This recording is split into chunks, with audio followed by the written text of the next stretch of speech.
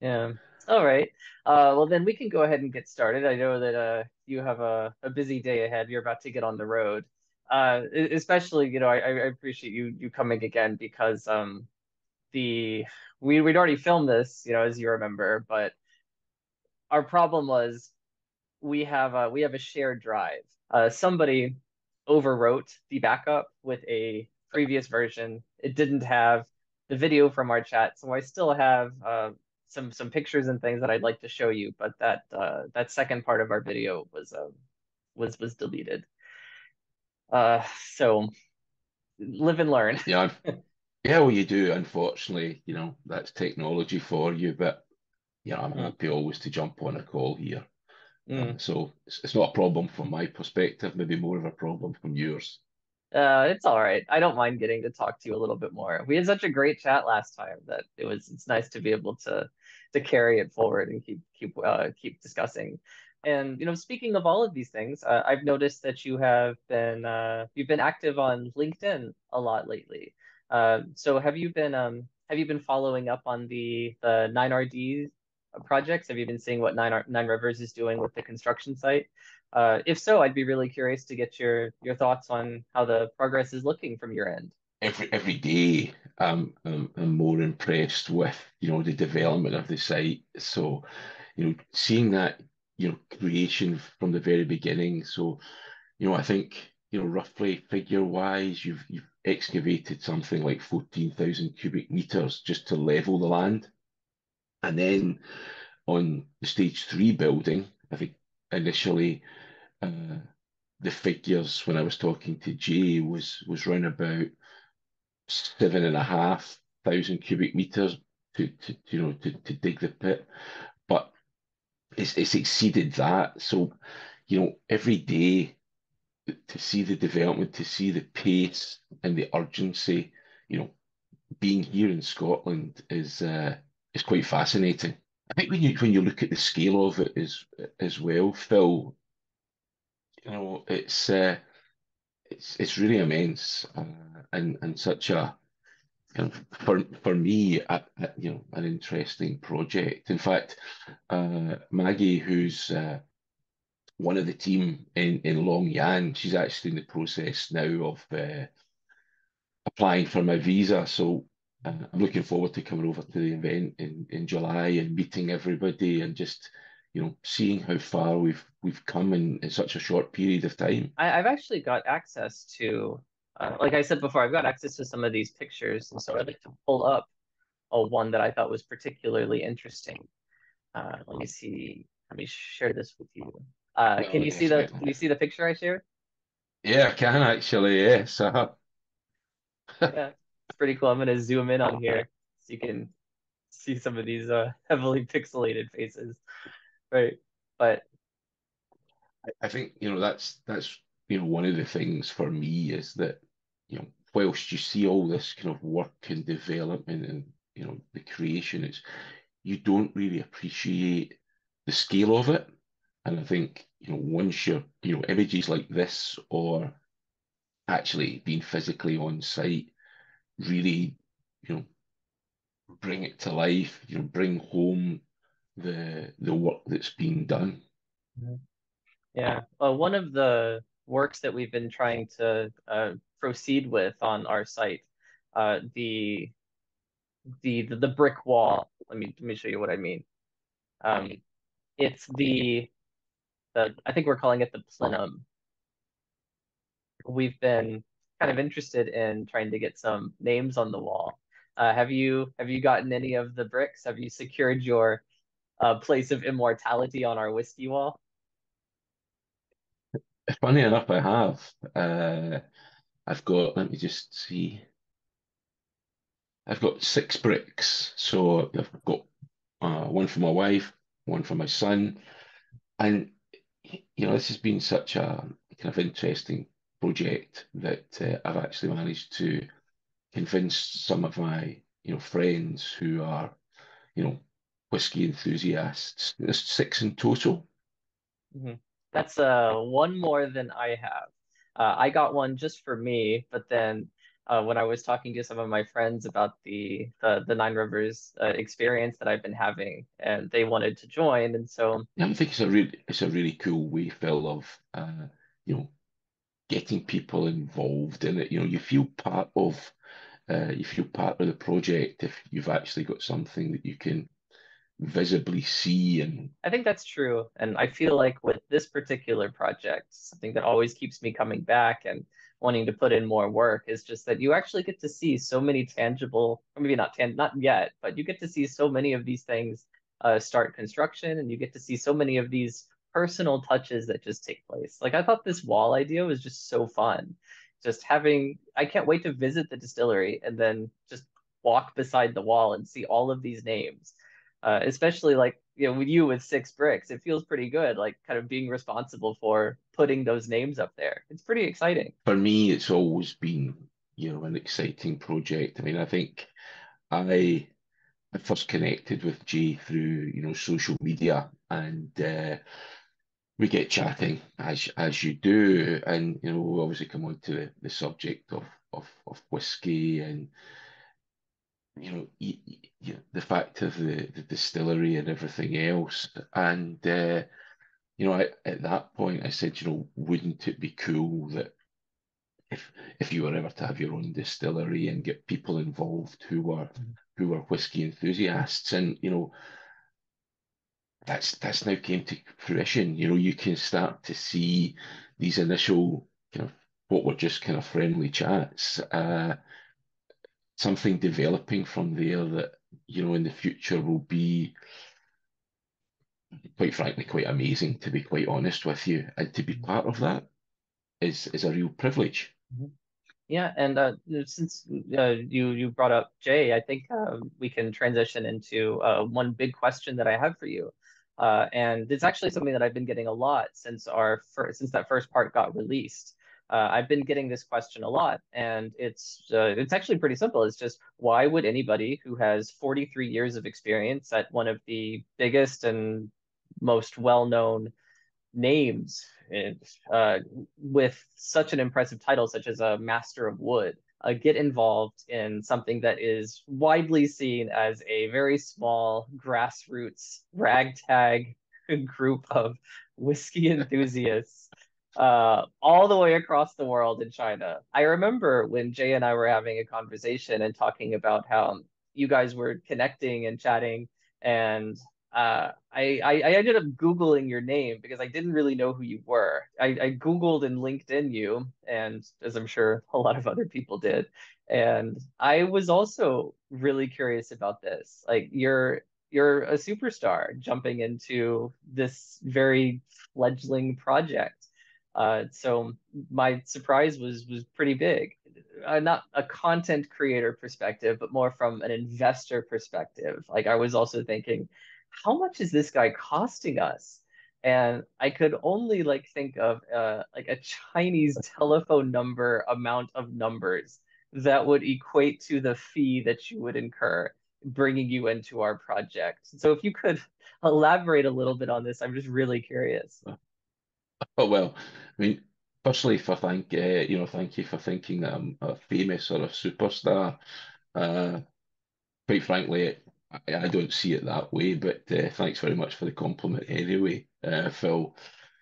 Uh, well, you know, I think probably there's, you know, a lot of people are intrigued, like everything. There's a new project that starts up. Yes, I've been fortunate enough to be in the, you know, in the Scotch whisky industry for you know over 40 years. Uh, I can assure you it's uh, it's not telephone numbers uh, that we're talking about for, for this project. Uh, you know, far from it. I mean, obviously, you know, I'm not doing this, you know, voluntarily. Uh, you know, but for me, there's there's more than just a consultancy uh, for this project. Uh, when when I decided to kind of step aside from from Macallan, it was is very much about projects like this to be to be involved in something which I think, quite frankly, uh, is extremely interesting. Uh, I said when when the discussions with kind of Jay kind of stepped, progressed, it was the whole fact of, you know, we're building a distillery, we're building a cooperage that's attached to it. You know, I think here we have a real opportunity to to start to showcase uh, not not only in past manufacturing and, and, and you know distillation and, and you know spirit and it's it's a case of uh, you know showing showing people not you know not just in China because you you're right Phil it's it, it's a it's a new emerging market with huge potential. And and for me I really just wanted to be part of it. It's uh, th this is the fun part about you know being able to be involved in things like this. Uh, I mean it'd actually be quite cool if we could uh, maybe get Jay on the call uh, and kind of further that discussion uh, even even more. Yeah, uh, we can definitely bring Jay into this. Uh, I will give him a call and see if we can get him in here. Gotta find his WeChat. He's been spending a lot of time at the construction site. So hopefully he answers. Yeah, why wouldn't you be at the construction site? You know, I'm always amazed at how how quickly, you know, things are manufactured. It's this, you know, one Yeah. day there's just some land, and then you know, a few months later you've got this magnificent building and structure. hmm China especially, like once something, once the paperwork gets finished, it's just it just goes. They've been having a lot of rain over there lately. So he's Oh, probably in his office actually. If he picks up, And has that hindered uh, the construction? I noticed in some of the earlier videos, uh, some of the flooding that was there. Is that Mhm. is that kind of natural for this time of year, or is it a bit unexpected? uh, it's not unexpected. Uh, they did plan for that in advance. Like in some of the construction videos and in the pictures, you can actually see uh, them preparing for the for the water, uh, just in case this happened. And so it's a good thing they did. Oh, he What? answered. He picked up.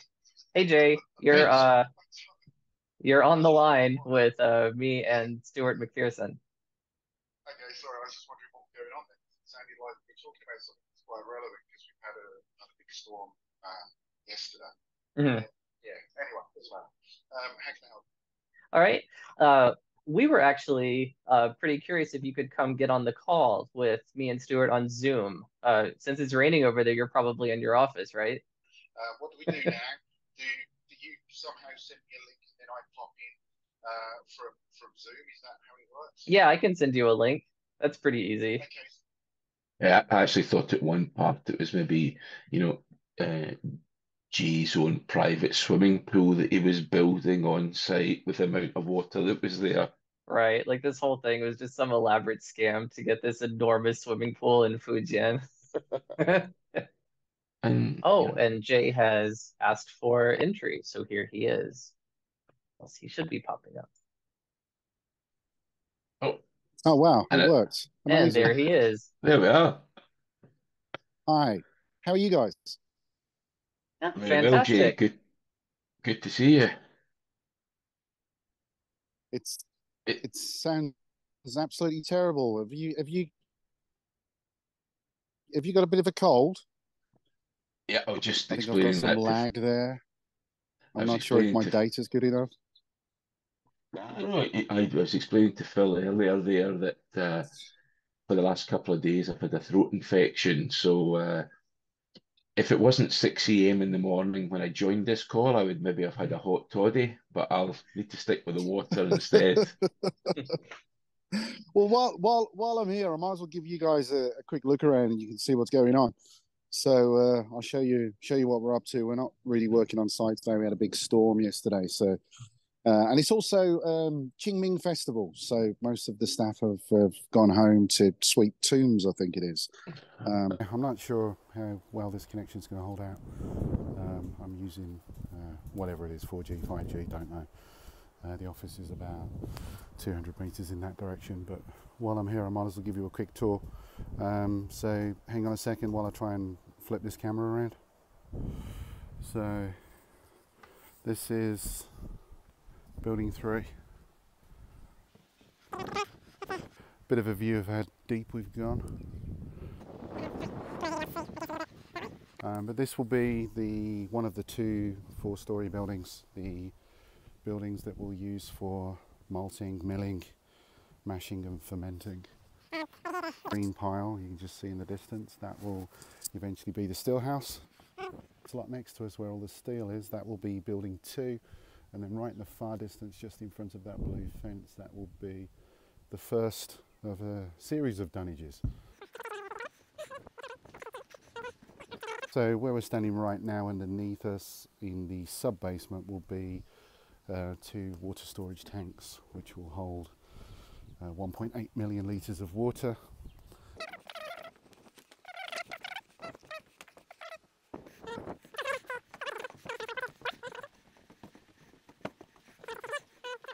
Essentially this wall here, this will be an underground tunnel that connects to the still house. Um, you can probably see a bit of the depth there. Um, essentially that concrete slab is about four metres thick.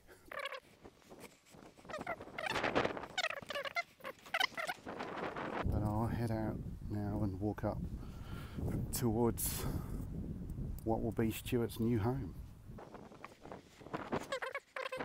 And that was last night's rainstorm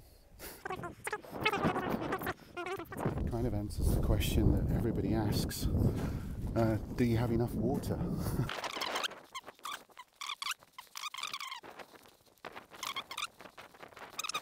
and then this is Stuart's new home. It's straight line all the way to that fence and then all the way to this blue fence over here. Um, and actually includes a lot of this chunk as well. So it's 6,666 square meters. Okay, give me a couple of minutes, Phil. I'm just going to go back to the office and then I'll dial into the call again and we can have a bit of a chat. So, Hi. Yeah. Yeah. He's, he's always like, he's always got so much energy. I don't know how he does it.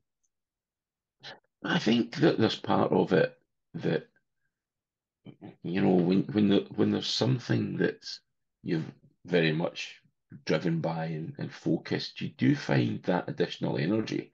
Uh, fair enough, it catches up with you uh, sooner or later, but you know, in this particular instance, you've got a discussion that was really amongst friends to, uh, you know, quite frankly, would be quite an amusing discussion. To, why don't we, why don't we build a distillery? and, and then obviously to see that uh, you know progressing and, and you're part of that it's uh, you do I think get additional energy from it yeah that's fair to say I think it's also just pretty cool being able to go from this is a concept I have uh, and even before that it was just kind of a conversation between people who have maybe had a little bit too much whiskey at one of the networking events. It's like, oh, we should build our own distillery. And then look at it now. It's actually, it's actually there is there is a hole in the ground. It is being filled with concrete. Mm-hmm. There's going to be a distillery there, and it's, it's it's pretty surreal to be involved in this from from almost the beginning. I, I joined this pretty early. I mean, you don't get that opportunity, uh, you know, here really, to be honest with you, in Scotland. It's either some of the, the major distilleries, you know, major distiller companies who are expanding production, or you will have, and it, and it has become a lot kind of more popular and, and apparent over the last few years as as whiskey has became, you know, more popular globally, is that smaller kind of niche distilleries are opening up, which you know people are interested in because they bring something different for the consumer, and, and you know this is why this project was so appealing. You you know you can be innovative, you can be creative, you can you can kind of push the boundaries with with new technology that's out there, and and we see that with uh, some of the cask manufacturing projects and cooperages, and you know already uh, already in place, but uh, you know having a cooperage attached to distillery is is quite unique, uh, to be honest with you. Yeah, uh, from everything that I've understood about cooperages, and especially from our last conversation, it seems that attaching a cooperage to a distillery is something that not many players do in in, in this game. Uh, so it's a it's a really smart strategic choice if you have the resources in which to take advantage of it. And so I'm really curious to see how this ends up working for us. I'm just really interested in understanding more about the logistics and where everything comes from. That's right. You know, how do you piece all that jigsaw together? So, so I mean, Oh, and Jay is here, so I'm gonna let him in. All right. Hi, Jay. Jay is connecting to audio, it says. Oh, fantastic. All right, uh, Oh. Jay, there is one thing. Uh, our room is going to stop in seven and a quarter minutes. So we might need to Um, restart it. Do you want to, do you want to just do that now and get it over and done with? Yes. I think because this is a good place to, to transition now that you're joining. Okay, fantastic. And excuse the fact I'm using headphones. I know I'm probably going to look stupid, but it, I don't have an external mic, so you're just Not as stupid as your beach. What? My beach is cool, man. Um, what else did I? I just I just found something else on here. I've lost the settings now um because I never use this bloody thing. But I just found something really cool where you can like put on shades and stuff. Yeah. Do you want to end it now? and We'll all dial back in. Yep. Sounds good. I'll send Yeah. out the links. Cool beans. Ah, okay, Cheers. Bye bye. that says we're back in. Yes. Uh, looks like Jay is still trying to get in. Yeah. Hey, Jay, you made it. I certainly did, sir. How are you? Good. I see you have uh, left the beach and you are now uh, some kind of In the small undergrowth. ant in the undergrowth. Yeah. um, yeah, is the short answer. Um, sorry, I'm just juggling a few other things at the same time. Um, so where would you like to start? Why are you interrupting my day?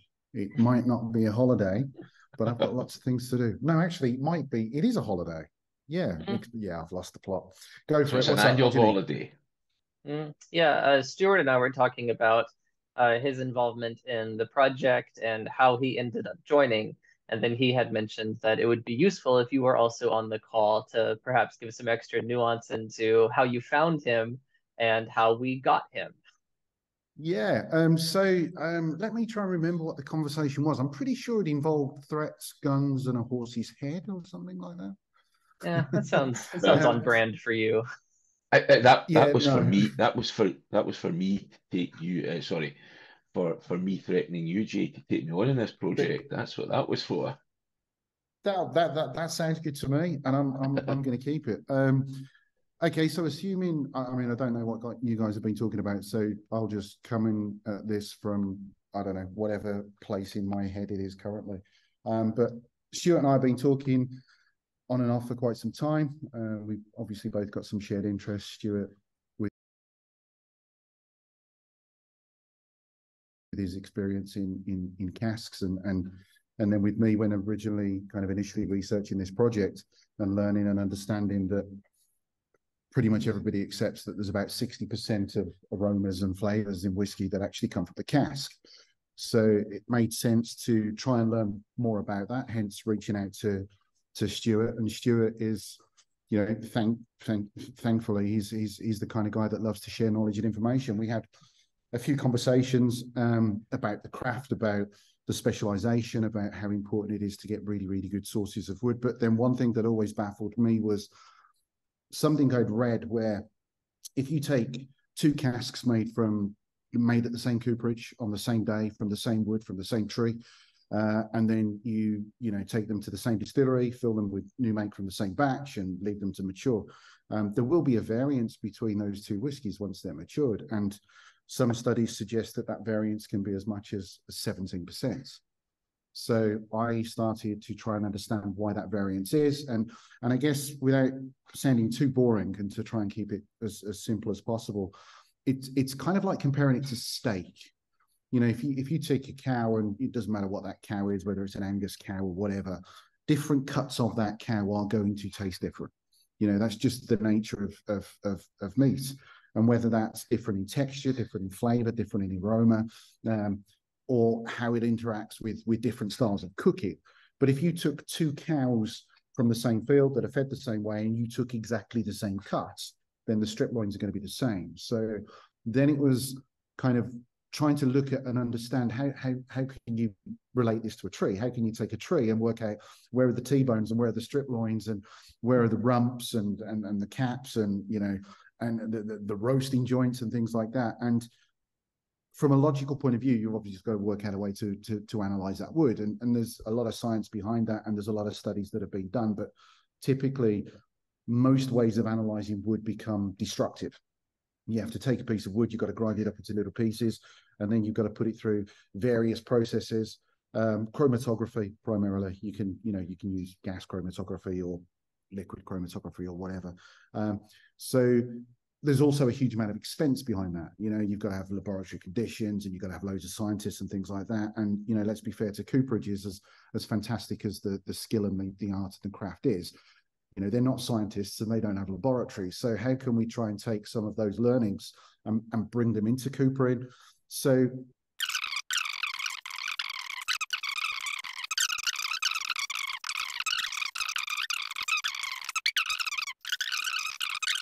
you know, so if you, you speak to Stuart, I, th- I think he talked about it quite a lot on the on your last call when you're talking about kind of toasting and charring the wood to release the sugars, um, so that when you've got your new make spirit or whatever other alcohol you're maturing. When you've got that in the cask, it starts to leach those things out and, and bring it into the spirit and, and help develop the flavor.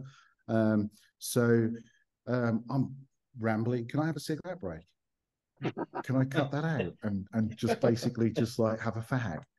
Hmm. Uh, is it is it getting too boring, Phil? Yes.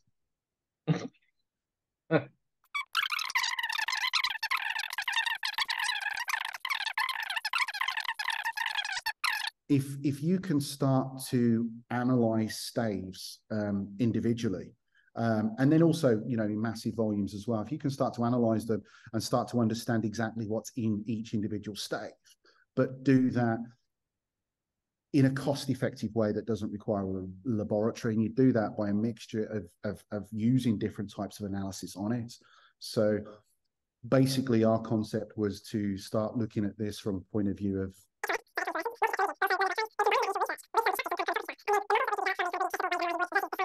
we can then start getting some really good predictive indexes. So we can literally infer based on what we can see from this accessible analysis versus what we've done with, with the laboratory analysis. And then over time, combining that with the fact that we've got our own cooperage, where we're going to be putting out 100,000 casks a year, 50,000 obviously for us and 50,000 for the rest of the market. Um, but then also we tie that in with the distillery. So it's not just about understanding what qualities are in the wood before you start maturation, but the end result of that. And then you start building up this really, really rich data set where you can, after a few years, start predictively modeling exactly what is going to come out of a cask and how that's going to influence the shape of whiskey. Does that make sense? Yeah, me think totally, following. Yeah. well, I know that Stuart gets it, but you know, let's be fair. we we we've we've got to get you to get it because if you get it, you're you're you know you're a kind of a sample audience member, if that makes sense. I think it's for me, it's it's these kind of conversations about how deep you go in. What's that level of knowledge for for your audience, and does it get to the point where you actually lose them because you do become a lot more kind of boring, technical. Well, well, let's uh, okay, let's just say technical, and and people yeah. then try they switch off.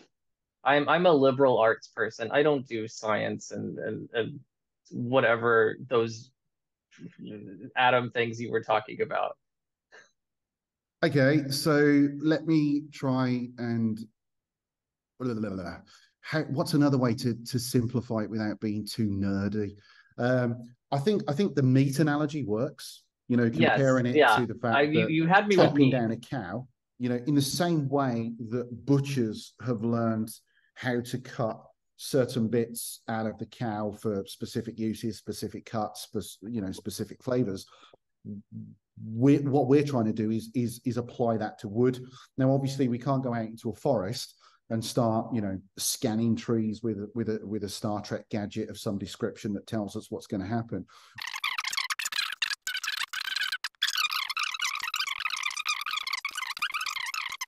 But, but taking taking sawn timber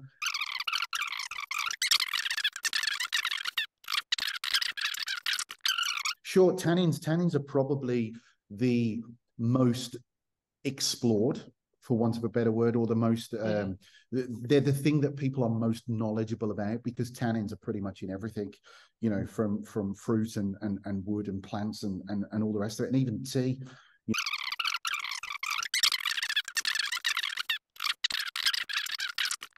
But taking it to that next level of, of detail. So yes, you can get some understanding of this wood for this cask. This is going to be better for a really, really heavy bodied mm. red wine.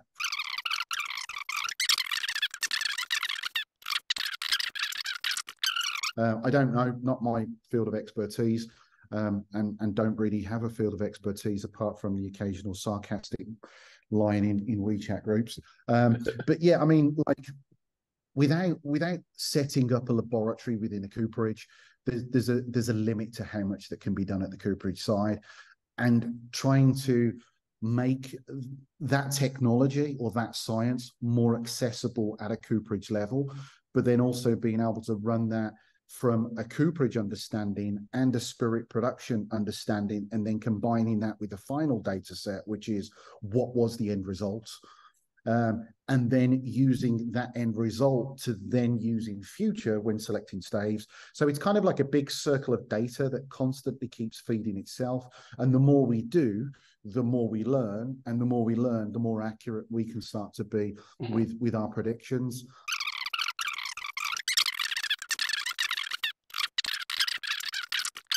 You know, one of the things that I think is is really important is because of that chance element within you know maturing spirit you know you're taking 200 casks in a high cube from a cooperage and because of that 17% variance you end up in a situation where yes if you're a big producer if you're producing you know seven and a half million lpa or 20 million lpa mm. it's not really a big deal if you've got an off cask because you can just marry it out. If you've got an off cask, the same with wine producers.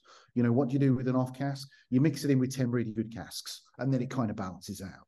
But if you're a small producer, you know, it can be the difference between making a profit and making a loss that year because if you've got an off cask and you can't marry it out because you're not making the volume and it's not good enough to be a single cask, it literally becomes wasted.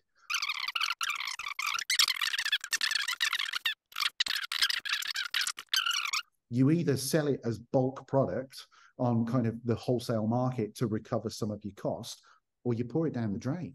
You know, well, really I mean, that simple. Yeah, well, it is. It is really, you know, because if you if your focus is is all about single casks rather than mm. you know a blended malt or whatever, then yeah, you're right. You're you're limited to what you can do, and I think that's really where you know even now the big boys have either had to create uh, new products because of the, mm. the hmm. styling character of spirit they've had.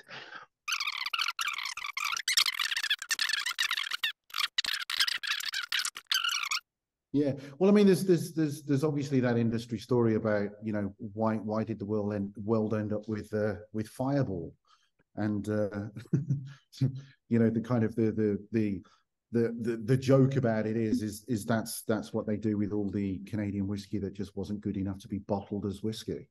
You just add loads of cinnamon and sugar and and you make fireball. And you know, there's similar stories about about Irish whiskey and Baileys.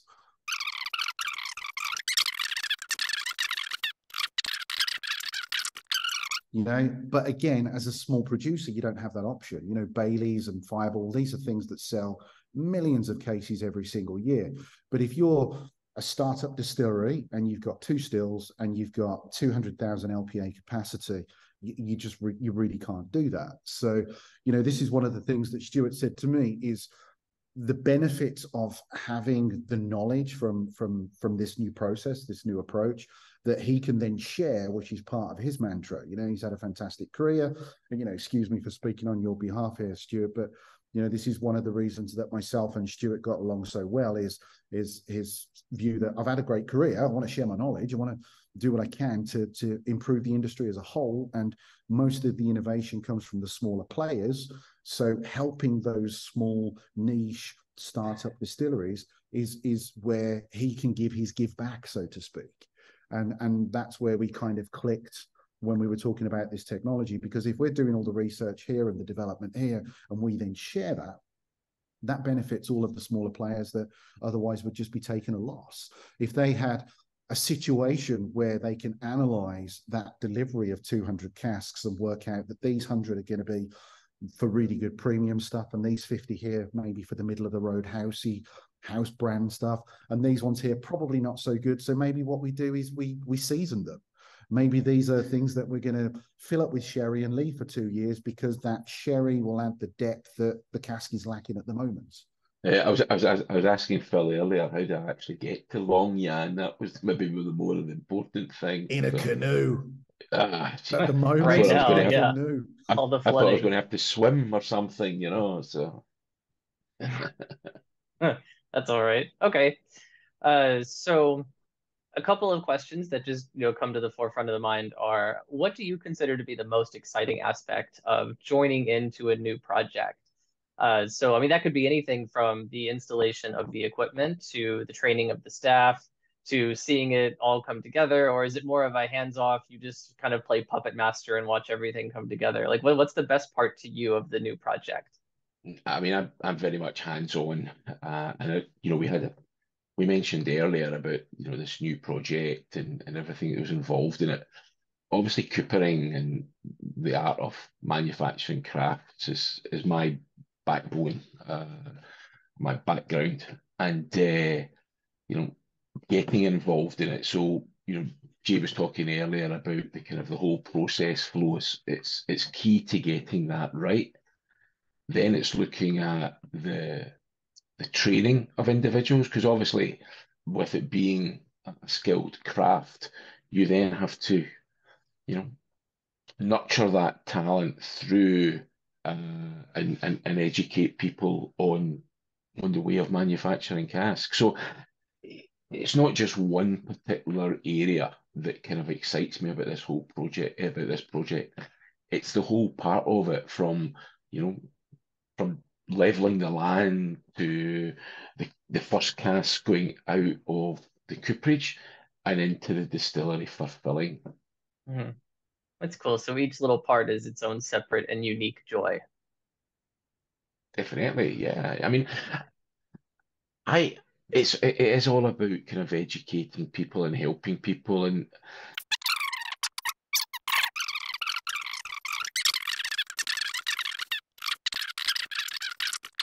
Jay obviously gave you a, a kind of an oversight of really quite maybe kind of technical information and the cask side of it, which is fantastic. I mean, they're all uh, all of these kind of processes have a, a, a huge benefit to the development of spirit. So for me, you know, combining my experiences in the industry and being able to kind of help in this, what I see is a fantastic project, it's a fantastic opportunity to really, you know, drive that uh, that kind of knowledge and, and share that education with people to put Nine Rivers really uh, up there with uh, major distillers companies to to demonstrate the, I suppose, the desire and and and and the, the passion and and the interest that that everyone that's involved in Nine Rivers has spent so far, and to for me personally to be to be part of that is is a great privilege and honor for me.